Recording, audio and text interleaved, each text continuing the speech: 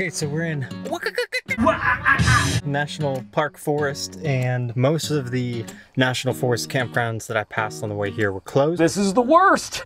So we came down towards uh, a Stop it. Get some help. Crystal Campground, something like that. But it was really full, and I wasn't really into paying for it. So we're parked at a trailhead real close to the campsite, and we're gonna see how that works.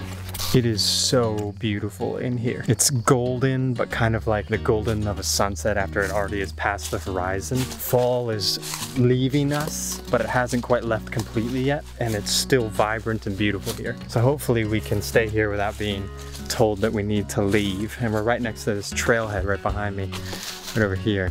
So take a little walk, make some dinner, and read a book until somebody knock knock knocks. Time for you to get the hell out of here. I'm so afraid to be left behind. I think about you a lot. It's almost like I can't stop. Can't stop. Yeah, yeah. You never lose an argument. So I've been trying hard to pretend that I'm okay. It's just a phase. And everything is going just great. I think about you a lot. Almost like I can't stop can't stop. Yeah, yeah. I always knew that this would happen. Yeah. You would find a new distraction. I need you more, need you here, more than I would like to admit. Can we let go of tomorrow? Yeah. You never break, you never lie. Never ever scared of the dark. So why am I the one who cries? I'm so afraid to be left behind.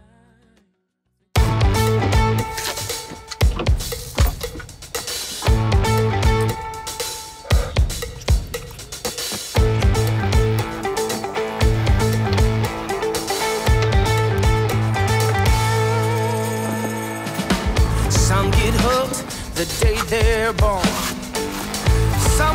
Into it as time moves on. Some are defenseless when Cupid strikes. But I've been heartless ever since I opened my eyes. I'm gonna run from love. Yeah, I'm gonna run from love. Ain't nobody gonna get me to slow it down. I'm gonna run from love. Some are We found something absolutely spectacular, which is beachside parking in Texas. 100 feet from the beach. When we wake, hear the birds and see the sun. Side by side, our fears are done. So I'm parked next to these pylons on the beach, which is like a dream come true for me.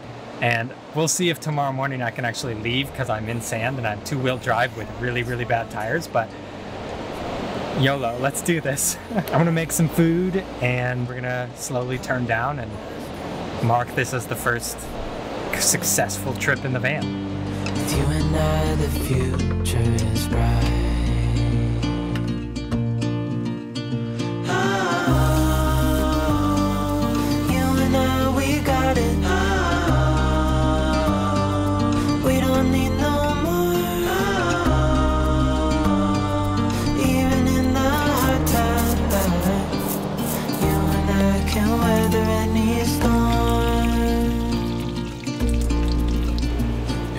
Sleep,